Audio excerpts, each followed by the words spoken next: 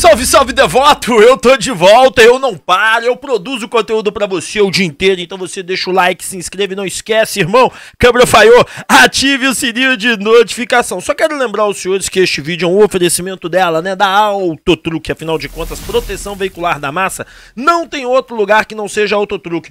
Melhor prestação de serviço do Brasil. Você é atendido no Brasil inteiro. Fazemos avaliação do seu carro online para você que é de fora, online a gente faz avaliação e feito tudo tudo isso, você ganha uma camisa oficial do Galo modelo 2023. Não perde tempo, o link está na descrição desse vídeo. Vem comigo e vem agora de Meu Galo Autotruque. E a loja do Galo não para, né, gente? Ela abriu no cidade, ela abriu em Venda Nova, Santa Luzia, Castelo e no Alípio de Melo. Em breve o segundo caminhão da massa vai rodar por Minas Gerais inteira para atender você aí do interior. Onde você pensa, tem loja do Galo. O link está na descrição. Agora sim, meu irmão. Falhou na hora H tá fraquinho, não tá dando conta. Chega ali na hora H, o estresse é maior. Ah, meu amigo, eu sei como, como é isso. Então aqui, ó, calma. Calma, amigo, calma, devoto. Eu vou solucionar seu problema com o Ronnie Capes. É uma amostra grátis que eu vou mandar para sua casa. O link tá no primeiro comentário fixado aqui do chat. E é bem simples, cara. Você vai pegar, vai experimentar. E se você gostar, aí você compra mais. Rap, mas é de graça mesmo? Sim. Vai chegar uma amostra grátis. Você vai pagar o frete, que aí é o correio, né, irmão? Não tem jeito. Link na descrição, no primeiro comentário fixado também, Ronnie Capes, para mudar a sua vida. Telha do Galo, né, meu amigo? A telha do Galo é sensacional, afinal de contas é um produto Omnitrade, né? E deixa eu te contar um detalhe espetacular da telha do Galo. Ronaldinho Gaúcho, Reinaldo, Dada Maravilha, Hulk, Leonardo Silva e Vitor assinaram. É esse produto aqui atrás, meu amigo, é sensacional, o link tá na descrição. 5 mil unidades fa fabricadas. Acabou, acabou. Aquela telha é uma telha original da Arena MRV. Ela estava lá em cima, retirado, feito o corte, que é a empresa que fez esse produto é a empresa que fez a telha da Arena. Rap é muito grande, então pega essa menor aqui para você pôr no seu estúdio. Não perde tempo não no seu escritório, no seu trabalho ou no seu quarto. Telha do Galo, um produto espetacular feito para você. Bom, vamos falar de Galo aqui, muitos assuntos e muitos comentários e vamos começar com o primeiro, né, meu amigo? E o primeiro comentário, opa, deixa eu só fechar um negócio aqui que eu tava errando, beleza. O primeiro aqui é Arena, Arana e agressão física. Rapaz, olha para você ver como é que são as coisas, né? Como, como que o futebol é muito doido e como que as coisas muitas vezes elas parecem fugir da normalidade. Elas parecem fugir com uma intenção de punição, uma intenção de agressiva, uma intenção vamos ferrar o Atlético. Eu não duvido, senhoras e senhores, como assim no Brasil inteiro vem acontecendo com outras equipes, que os times do, do eixo são sempre favorecidos aí nesses julgamentos, né? Agora, agressão física do Arana, bom, você vai lembrar disso aqui, ó. O Atlético, naquele, teve um jogo aí para trás que o Arana, ele dá uma cotovelada no cara, faz assim, um sai. Não é a cotovelada. Porque uma coisa é o seguinte, gente, você vê que o cara tá vindo, você faz assim, ó. Pra pegar o cara. Você vem para pegar o cara, ó. Pá. Outra coisa, você faz assim, sai fora, bicho. Sai fora, só. Você faz isso até em fila. Irmão, dá licença. Isso não é cotovelada. Mas eles consideram que deu. E o Arana mesmo falou: não, eu empurrei o cara mesmo e tal. Porque ele sabe, mas não foi intencional. Portanto, que teve que ter VAR. Teve que o juiz ficar analisando. O juiz ficou olhando aquela coisa e falou: ah, velho, é, infelizmente ele fez assim, eu vou dar. Mas não foi cotovelada. E aí, rapaz, vai ser julgada na próxima semana por agressão física pode pegar até 12 jogos, tá? O Atlético trabalha pesadamente para que isso não aconteça. O Atlético está na luta para chegar, meu amigo. Não foi agressão física. O que aconteceu aqui nada além de um empurrão para trás, tá? Não teve intenção de bater, de machucar, de agredir, nem nada disso. Tanto é que o jogador daí pega, pega aqui no jogador. É um negócio bem bobo, bem bem Zé Ruela, mas tá sendo processado por agressão física. Isso mesmo que você escutou. Bom, bora pro próximo tema, né, senhores? É duro. Senhoras e senhores, bora pro próximo tema e agora tá na hora de falar de uma notícia fantástica, uma notícia espetacular e uma notícia boa. Lembra que tava faltando o laudo da PM e também do Ministério Público? Eu não falei mais cedo com vocês? Pois é, tá liberado, meu irmão. A PM liberou, tá tudo certo. O Atlético cumpriu os últimos protocolos e o Ministério Público também liberou. Inclusive, o Ministério Público, né, com essa liberação aí, agora o Atlético vai poder solicitar. Tá aqui, ó. Ah, onde que tá isso? Tá lá no canal Vinegro, rapaz. A Itatiaia já noticiou e a gente dá o crédito aqui, ó, porque é via. Quando é nosso, é nosso. Quando é dos outros, é dos outros, né? A gente não, não fala que é. Detalhe, a gente não, é, a gente não fala. aqui, nós estamos contando aqui pro torcedor desde aí semana passada aí, o Tanaka, todo mundo, que a Arena MRV, o Atlético Santos ia ser lá, né? Sábado, eu já falei isso pra vocês, na sexta. Aí a Itatiaia, exclusivo. Meu Deus do céu. Vai botar lá. Após liberação do Ministério Público, o Galo enviou ofício à CBF para estrear a Arena MRV com o Santos. Além da mudança do local antes, o confronto deve passar para de 18h30 para as 16 horas. É o pedido que o Bruno Musi fez, ele contou isso e revelou isso agora pra gente, mas o Ministério Público aprovou, a ata já tá liberada. E agora, meu amigo, é amanhã. O prefeito vai sancionar, a loucura já tá prometendo ir, prometendo fazer aquela festa lá, para fazer aquela pressão para inaugurar a Arena MRV. Eu acho fantástico. Eu só não vou lá cobrir a, a chegada da loucura, que é 11 horas da manhã. E 11 horas da manhã, para mim, fica complicado, porque eu tenho minha live, meu compromisso com você meio-dia, né? Então, infelizmente, não dá. Senão eu ia lá, que eu acho que vai ser legal demais, é um momento de alegria. Finalmente a Arena MRV, rapaz, sexta, domingão, domingão, 16 horas. Vou chegar lá 10 da manhã, rapaz. Vou, vou, 10 da manhã eu tô lá. Bom, bora pro próximo tema, né? Que a gente já falou demais disso. Agora eu quero falar de gramado. E ó, admitiu o erro, será? Vamos ver isso aqui. Bom, senhoras e senhores, uma questão que o Bruno Musi foi chamado a atenção é sobre o gramado da Arena MRV, né? E ele falou sobre isso. Vamos escutar o que, que ele disse aqui pra gente? Bora lá. Bom dia, Bruno. Fernando Martins Miguel, da FM O Tempo. É, queria saber a respeito do gramado. Né? Já aventou-se a possibilidade de uma possível troca para gramado sintético. Queria saber se o Atlético já definiu isso, vocês já definiram essa, se haverá essa mudança e qual é o período, né, o prazo para ter um campo novo sintético e o custo também. Tá. É, eu acho que desde o início da obra eu sempre falei, né, quem acompanhou, eu sempre falei que minha preferência era ela pelo gramado sintético, pela, pela arquitetura ali da arena, né. Obviamente que a gente não tinha seria ia aumentar esse valor ainda mais, a gente não tinha orçamento para isso. O que eu fiz foi é, deixar a infraestrutura que não incrementou em nada de preço para acomodasse as duas as duas modalidades. Eu, no final, também eu achei importante a gente colocar a grama, né, que, que é o que já estava dentro do escopo da Racional. Então, se eu mudasse ali o escopo da Racional, ia trazer outra dinâmica para o contrato. É, ainda tinha muita, muito preconceito né, sobre grama sintética, né, lá em 2018, 2019, né, 20, quando a gente começou. E hoje a gente vem percebendo que esse preconceito diminui. E ainda tem uma questão, não, a, a, a sintética é bom, a grama é, ela causa mais lesão. Tem uma discussão ampla nessa questão aí, né? Não, os Estados é, americanos ou, ou, europeus eles estão cada vez mais naturais e menos sintéticos. É, sim, é, mas eles têm um, um, poder ali de aquisição. Visitei os estádios. Os estádios eles têm, eles podem trocar grama e sintético a qualquer. Eles têm as duas flexibilidades. Ele, inclusive, os estádios tiram o campo para fora para tomar a, lumina, a, luminosidade adequada e depois recua o campo. E dependendo do jogo, ele ainda consegue colocar a grama sintética para poder fazer o jogo. A gente não tem essa prerrogativa. É, e os estádios é, atuais, as características são muito fechadas. Vocês estão vendo ali, são muito fechadas é, e tem um problema sério de luminosidade. É, então, na hora que você não tem sol, a grama sente significativamente. Hoje, como é que está o gramado da Arena MRV? É, você olha lá, tá lindo, né? Tá, tá, tá muito bonito. O problema é que na parte norte, a gente está no inverno, né? A gente fez a substituição, né? O replantio da grama de inverno. A gente, a gente é, semeia a grass em lugar da grama bermuda. E aí a grama bermuda, sem sol e numa temperatura mais baixa, ela morre.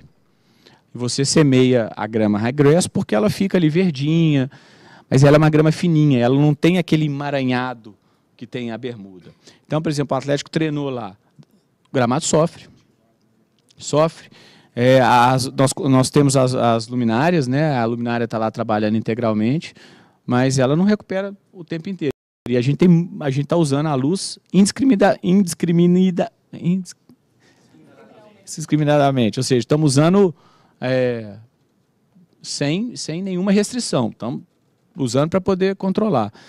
Acabou o treino, é, eu fui lá pessoalmente, fiquei andando no gramado, chamei a equipe lá de, de manutenção, eu estava lá na sexta-feira, para a gente já entrar organizando. Mas eu acho que partir do ano que vem, com, com show, os shows, né, nós vamos ver o comportamento agora, né, nós temos jogo, né, se Deus quiser, a gente tem os, os shows né, do Maroon 5 e do, e do Jota, e Ivete e Jorge Matheus. Vamos cobrir o gramado, vamos ver o comportamento.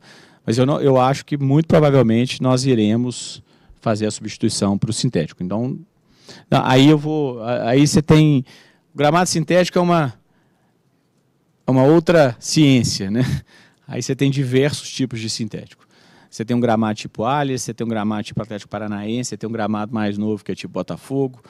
Eh, você tem gramados com espessura de grama maior, mais alto, que nível de corte, que tipo de, de emborrachamento você coloca embaixo. O Atlético Paranaense usa o coco, né, o estrado de coco. O, o Allianz usa somente o sintético, aquelas borrachas sintéticas. O Atlético para, o Botafogo já tem um misto, então, nós temos que definir custo, qual é o melhor gramado. É, mas eu acho que é uma tendência, não tem nada definido ainda, tá? Não tem nada definido, mas eu acho que é uma tendência e nos levará a isso.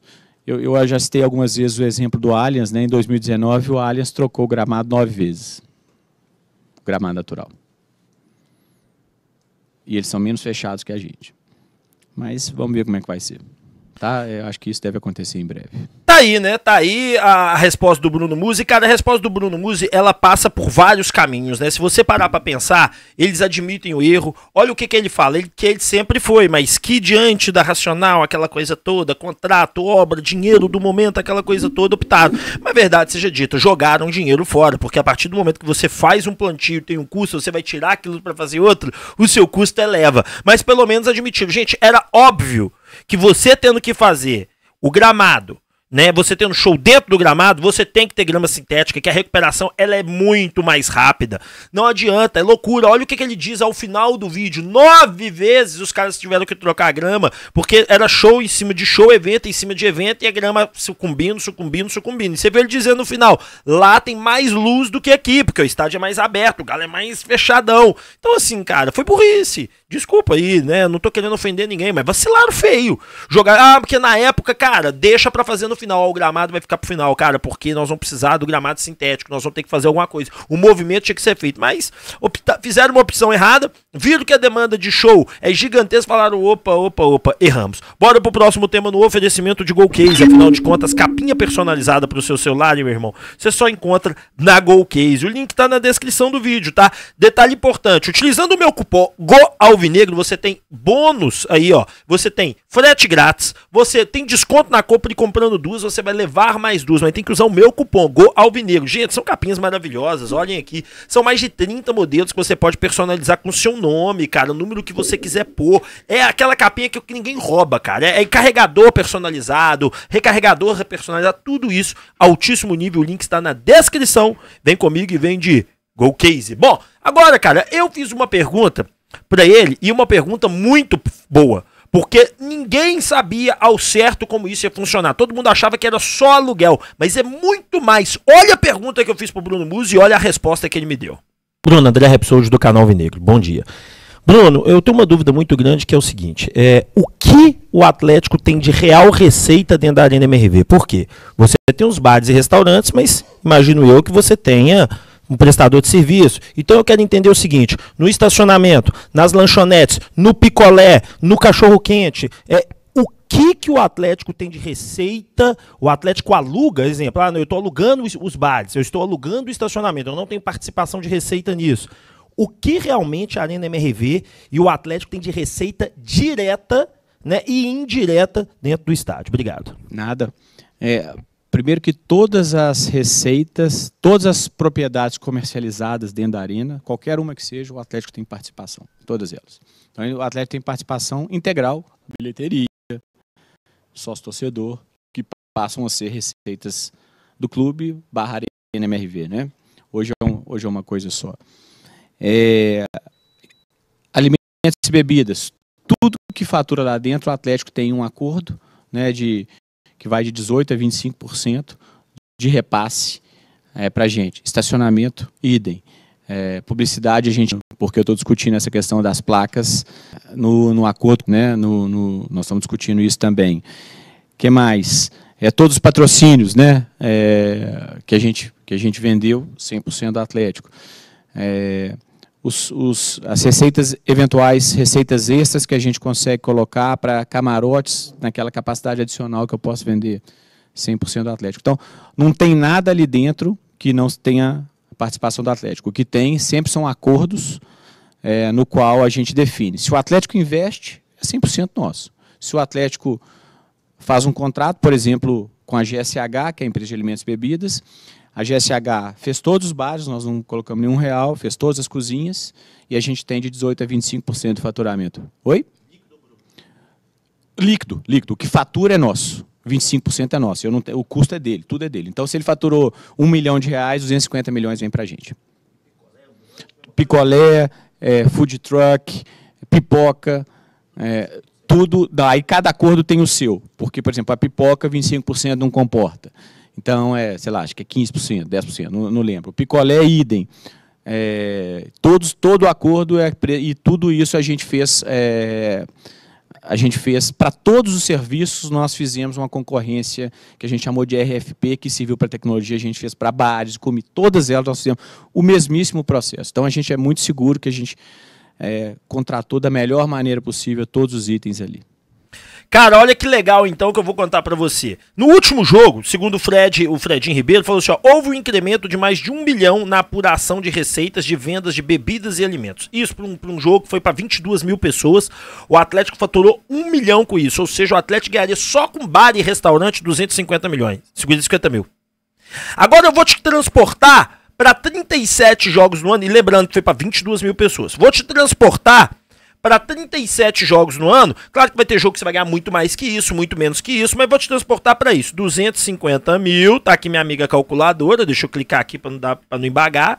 250, sempre tá tampando o meu QR Code, vou, vou, tirar o QR Code que precisa dizer, 250 mil vezes, vamos colocar 35 jogos no ano? 35 jogos no ano. Nós estamos aqui só de receita adjacente de alimentação, não estou entrando no resto, daria 8 milhões e 750 mil anual para o Atlético. É grana que não acaba mais, um acerto gigantesco da diretoria, parabéns aí por, por ter fechado esse bom negócio. Deixa o like, se inscreve, não esquece, meu irmão, a 36 da Copa de Judô, a 32 segunda, perdão, Copa Copa de Judô está chegando. Dia 26 e 27 de agosto agora. Começa uma hora da tarde o evento, então não perde tempo. Ainda dá tempo de você se inscrever. O link tá na descrição. Quem sabe, eu falo isso mesmo, sério. Você tira o seu filho disso e leva ele pro esporte. O esporte muda vida, senhoras e senhores. Então não perde tempo, não. Vem comigo e vende 32 Copa de Judô. Tamo junto. Valeu, Arena MRV. Pois se o galera sua vida, Arena MRV é sua casa. Compre já sua cadeira da Arena MRV. Parcela de até 12 vezes e pagando Pix à vista. Tem um belo desconto. É, meu amigo. Domingão tá chegando. Hoje é segunda, mas tá chegando. Tô ansioso para inaugurar a Arena MRV. Valeu, tchau e fui.